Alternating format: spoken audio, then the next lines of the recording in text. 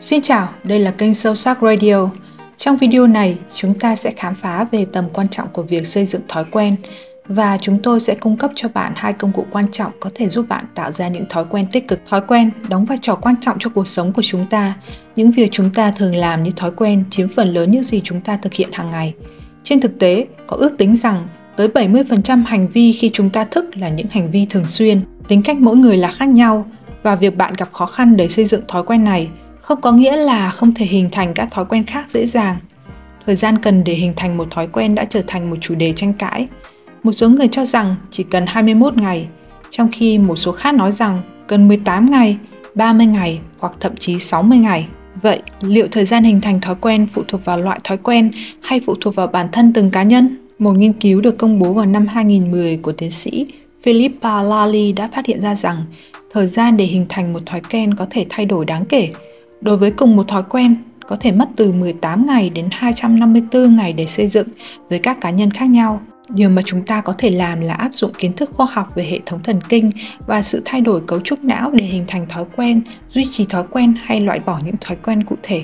Mỗi khi bạn thực hiện một thói quen, có những thay đổi nhỏ xảy ra trong cơ chế nhận thức và thần kinh, đặc biệt là liên kết với bộ nhớ về quy trình thực hiện. Trong lĩnh vực thần kinh học, chúng ta phân biệt giữa hai loại ký ức, ký ức tình tiết về sự kiện cụ thể và ký ức quy trình.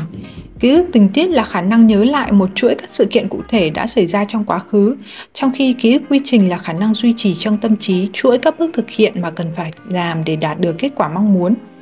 Ký ức tình tiết giúp chúng ta hồi tưởng lại những trải nghiệm cá nhân như một cuộc hẹn hò, một bữa tiệc sinh nhật, một chuyến đi du lịch hoặc bất kỳ sự kiện nào có tính cá nhân và đặc biệt. Ví dụ như khi bạn nhớ lại buổi tiệc sinh nhật của bạn diễn ra năm ngoái, bạn có thể hồi tưởng lại cảnh bữa tiệc với người thân, bạn bè, âm nhạc vui nhộn và những tiếng cười. Bạn có thể nhớ lại những món quà mà bạn nhận được, những mẩu hội thoại và những trò chơi bạn đã tham gia. Đây là ký ức về chuỗi sự kiện cụ thể mà bạn đã trải qua và nó mang tính cá nhân. Trong khi đó, ký ức quy trình là một hình thức của bộ nhớ dài hạn trong hệ thống thần kinh, liên quan đến khả năng lưu giữ thông tin về quy trình hoặc kỹ năng thực hiện các hoạt động và nhiệm vụ. Nó liên quan đến khả năng tự động thực hiện một chuỗi các hành động liên tục mà chúng ta đã học hoặc thông qua trải nghiệm và luyện tập. Ví dụ như khi bạn đã học lái xe và thực hành trong một khoảng thời gian dài, các kỹ năng lái xe trở thành một phần trong ký ức quy trình của bạn. Bạn tự động biết cách điều khiển vô lăng, đạp phanh, chuyển số và thực hiện các động tác khác mà không cần phải suy nghĩ lâu các quy trình này đã được lưu giữ trong ký ức quy trình của bạn và được kích hoạt mỗi khi bạn lái xe một cách tự động mà không cần tập trung quá nhiều vào từng chi tiết nhỏ để đạt được mục tiêu hình thành một thói quen mới, hiểu về ký ức quy trình là một điều rất hữu ích để giúp ta vượt qua rào cản gọi là limbic friction, ma sát vùng limbic hay trở ngại cảm xúc. Vùng limbic hay hệ thống limbic là một nhóm các cấu trúc liên kết nằm sâu trong não bộ, có nhiệm vụ kiểm soát cảm xúc và hành vi của con người. Các nhà khoa học vẫn chưa thống nhất về danh sách đầy đủ các cơ quan trong hệ thống limbic. Cấu trúc thường được chấp nhận là một phần của hệ thống bao gồm vùng dưới đồi Ngoài việc kiểm soát cảm xúc, vùng dưới đồi còn liên quan đến các phản ứng tình dục, giải phóng hormone và điều chỉnh nhiệt độ cơ thể. Hồi hải mã Hồi hải mã giúp lưu giữ và lấy lại ký ức. Nó cũng giúp con người hình dung về các kích thước không gian. Hạch hạnh nhân Các hạch hạnh nhân giúp cơ thể tạo ra một loạt các phản ứng khác nhau với các sự vật hiện tượng trong môi trường sống, đặc biệt là các tình huống gây kích thích cảm xúc mãnh liệt. Nó có vai trò quan trọng trong việc kiểm soát nỗi sợ và tức giận. Thể trai Thể trai gồm có hai cấu trúc là hồi đai và hồi cận hải mã. Chúng cùng nhau tác động đến tâm trạng, động lực thúc đẩy và khả năng phán đoán của con người. Các cấu trúc này là một phần quan trọng của hệ thống thần kinh trung ương và liên quan chặt chẽ đến các chức năng cảm xúc, học tập, giải quyết vấn đề và điều chỉnh hành vi. Trở ngại cảm xúc tạo ra rào cản trong việc chúng ta xây dựng thói quen mới. Hãy tưởng tượng bạn quyết định tập thể dục mỗi buổi sáng, nhưng mỗi khi đến giờ tập, bạn lại bị chìm cho cảm giác lười biếng, mệt mỏi và thiếu động lực. Đây chính là một ví dụ cụ thể về trở ngại cảm xúc. Đó là sự kháng cự tự nhiên mà phần cảm xúc và hệ thống thần kinh của bạn tạo ra và điều này khiến cho việc hình thành và duy trì thói quen trở nên khó khăn hơn. Quay lại với ký ức quy trình. Nếu tôi nói, tôi muốn hình thành một thói quen vào mỗi buổi sáng là pha một ly cappuccino cho bản thân, tôi sẽ suy nghĩ qua từng bước cần thiết để thực hiện điều này Ví dụ, tôi sẽ đi vào bếp và chuẩn bị các nguyên liệu cần thiết như cà phê, sữa tươi và bột ca cao. Sau đó, tôi sẽ bật máy pha cà phê và đặt cốc dưới máy. tôi sẽ chuẩn bị pha cà phê bằng cách lựa chọn loại cà phê yêu thích và đo lượng cần sử dụng. Tiếp theo, tôi sẽ đánh sữa tươi để tạo ra bọt sữa mịn. Khi máy pha xong, tôi sẽ lấy cà phê từ máy và đổ nó vào cốc. Sau đó, đổ bọt sữa lên trên mặt cà phê. Tôi có thể tùy ý trang trí bằng cách sắc một ít bột ca cao lên để tăng thêm hương vị. Cuối cùng, tôi sẽ thưởng thức ly cappuccino thơm ngon mà mình tự pha và bắt đầu buổi sáng tràn đầy năng lượng. Kết quả là chỉ với một bài tập tưởng tượng đơn giản như vậy, chỉ cần thực hiện một lần, bạn sẽ có khả năng thực hiện thói quen này một cách thường xuyên, không chỉ trong lần đầu tiên mà còn trong những ngày và những tuần tiếp theo. Công cụ thứ hai và tôi tin rằng là công cụ mạnh mẽ nhất để hình thành và duy trì các thói quen mới là khái niệm task bracketing. Task bracketing là một khái niệm trong ngành tâm lý học và khoa học thần kinh đề cập đến khả năng chia nhỏ và xác định rõ ràng các nhiệm vụ hoặc công việc mà chúng ta đang thực hiện. Điều này giúp tăng cường sự tập trung và hiệu suất trong quá trình hoàn thành nhiệm vụ. Khái niệm task bracketing có thể hiểu là phân đoạn công việc hoặc chia nhỏ nhiệm vụ. Ví dụ cụ thể về task bracketing là khi bạn có một công việc lớn hoặc phức tạp, bạn có thể áp dụng nguyên tắc của task bracketing bằng cách chia nó thành các phần nhỏ hơn và xác định rõ ràng nhiệm vụ cụ thể trong mỗi phần. Ví dụ, nếu bạn đang viết một bài luận, bạn có thể chia nó thành các giai đoạn như lên kế hoạch, thu thập tài liệu, viết nháp và chỉnh sửa. Sau đó bạn sẽ tập trung hoàn toàn vào từng giai đoạn một, tránh sự phân tán và hoàn thành một nhiệm vụ trước khi chuyển sang nhiệm vụ tiếp theo. Mạch thần kinh liên quan đến việc phân chia nhiệm vụ là một tập hợp các mạch thần kinh trong não, gồm các hạch nền là nhiều khối chất xám nằm sâu trong chất trắng của não, liên quan đến việc kiểm soát trong tiềm thức các cử động theo ý muốn, có vai trò quan trọng trong quá trình phân chia, điều chỉnh và kiểm soát các nhiệm vụ hoặc hành vi mà chúng ta thực hiện.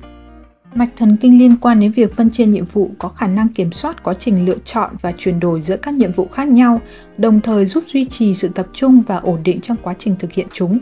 Chúng giúp chúng ta tập trung vào một nhiệm vụ cụ thể và tắt hoặc kiềm chế các nhiệm vụ khác đồng thời.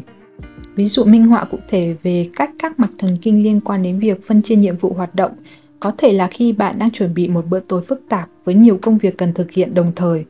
Trong quá trình chuẩn bị bữa tối, các mạch thần kinh liên quan đến việc phân chia nhiệm vụ sẽ phối hợp hoạt động để tạo ra một quá trình phân chia công việc hiệu quả.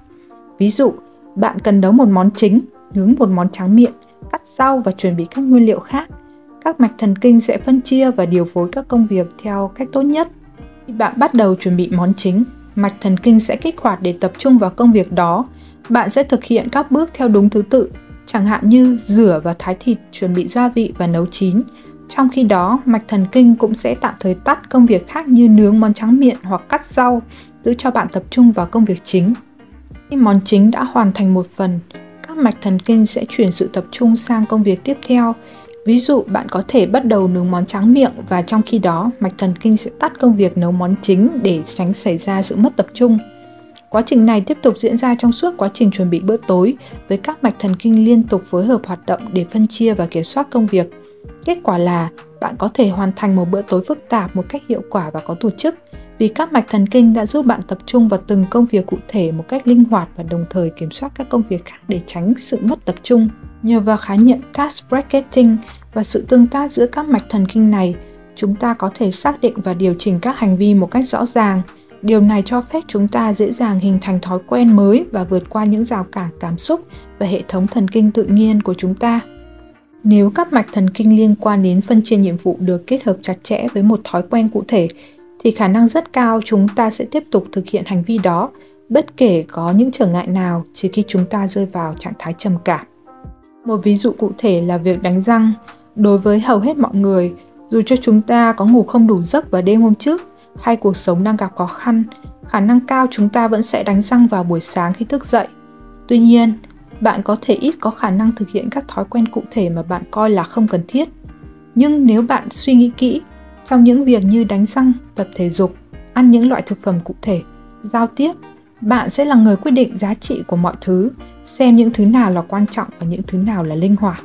Vì vậy, task bracketing tạo ra một dấu ấn thần kinh, một loại dấu vân trong não của bạn về việc một điều gì đó phải xảy ra vào thời gian cụ thể trong ngày đến mức nó trở thành tự động. Dù việc suy nghĩ về chuỗi sự kiện cần thiết để thực hiện một hành vi cụ thể là quan trọng, nhưng thông qua việc tưởng tượng và lưu trữ trong ký ức quy trình như đã thảo luận trước đó, Bạn cũng cần có cách điều chỉnh hệ thống thần kinh của mình hướng tới quá trình phân loại nhiệm vụ này. Hệ thống thần kinh của bạn có thể chuyển đổi hoặc điều chỉnh để thực hiện một thói quen. Điều này giống như làm nóng cơ thể trước khi tập thể dục. Khi khu vực liên kết ở phần ngoài của vùng vân lưng được kích hoạt, cơ thể và não của bạn đã chuẩn bị sẵn sàng để thực hiện một thói quen và sau đó bạn có thể chủ động chèn vào thói quen mà bạn muốn thực hiện. Trong video này, bạn đã cùng Sâu sắc Radio tìm hiểu về quá trình hình thành thói quen và hai công cụ quan trọng để giúp chúng ta đạt được sự thay đổi trong hành vi của mình.